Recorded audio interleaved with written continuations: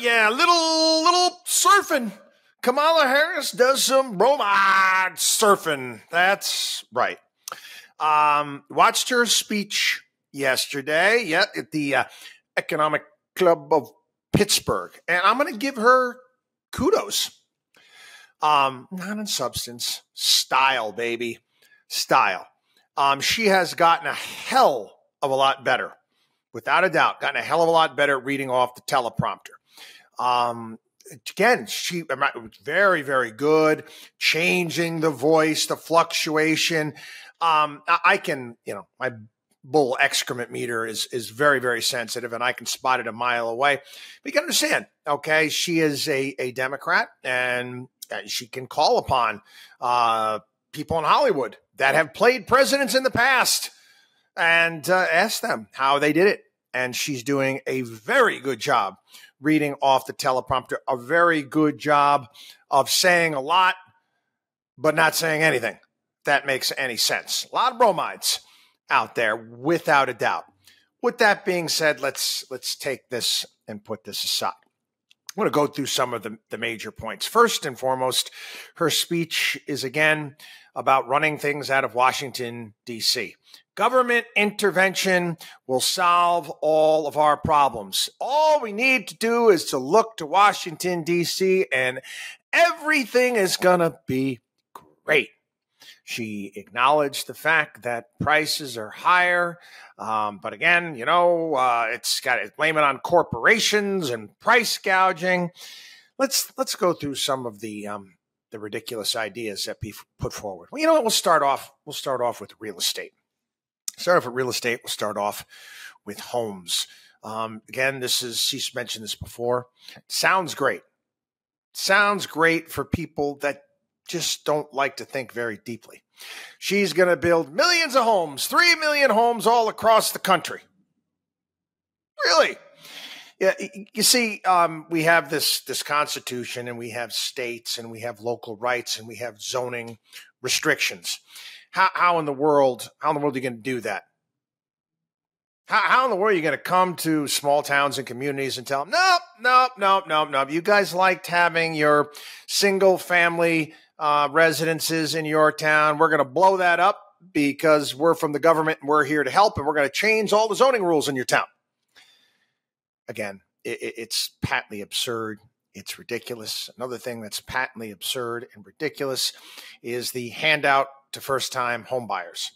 $25,000. Scan the old Oprah Winfrey. You get a house, you get a house, you get a house. No, $25,000 to help people out with the down payment.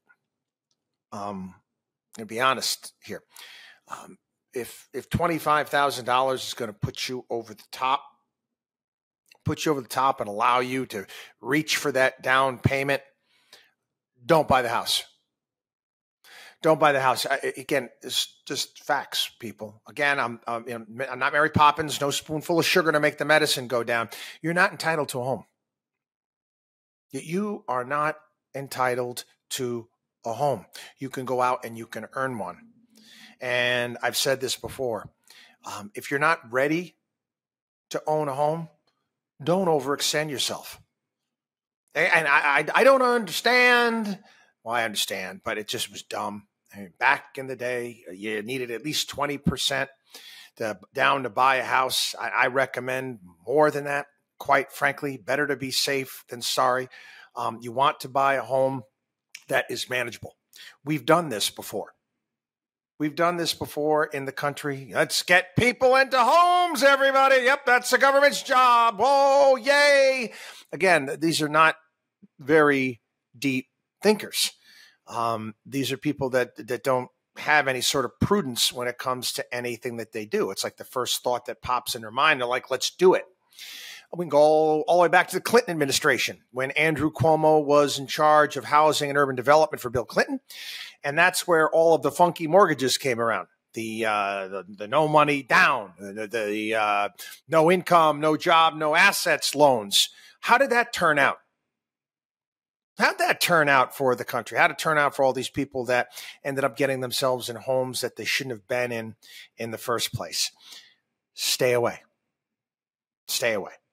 Let's move on to manufacturing. Okay, uh, it looks like Pennsylvania is pretty much ground zero. Um, I think Trump and Kamala Harris feel that if they whoever wins Pennsylvania is going to win this, and everyone's talking about manufacturing, and we're going to give tax credits to this one, we're going to give tax credits to that one, and we're going to tear up this one, we're going to do that to that one. Just, just stay out of it. Just stay out of it all you need to do is to create an environment where companies will be successful, get out of their way, reduced regulations, have a favorable tax code, don't burden these businesses, and they will come. They will come. Businesses will come. Businesses will grow. Some will make it, some won't, but that's just how the system works. You need to stop using the tax code. Got to stop using the federal registry to carve out little niches and handouts and giveaways to various different corporations, but it works for them. It's helping them to get elected. Is it good overall for the economy and the country? No. No, it's island of Dr. Moreau type stuff. You're creating economic genetic defects, if you will. And that was a major part of her plan.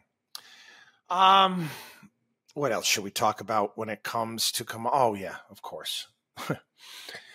um, the small business straw man. She loves this um, opportunity economy and telling everybody that you know that, that everyone's got aspirations and small business owners and all this stuff, and she is going to give them a fifty thousand dollar tax deduction when you start a new business. Now, um, I started a business decades ago. And let me tell you what I didn't need when I started a new business was a tax deduction uh, because I wasn't making any money uh, weren't, we weren't making any money. That's you know what happens when you start a business. You don't need a tax deduction when you start a business. So again, here you go. Here's nothing. Sounds good. Sounds good. Again, yeah, we'll go bromide surfing. Woo! Yep, the Kamala going surfing. Um, it it's not going to do much. Um, we live in a red tape nation.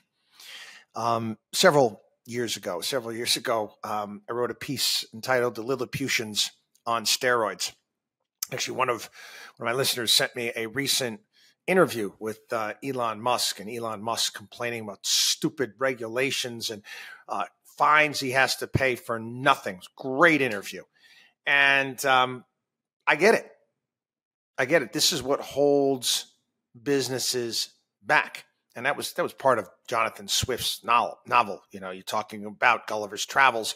The Lilliputians were, well, they were a takeoff on the haughty politicians of England at that point in time with their rules and regulations. We have the same thing today in this country.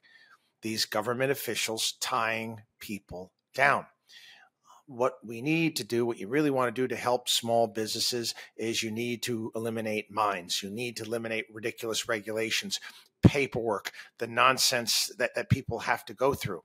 That that's what really will help small business. That's what's really going to encourage small business.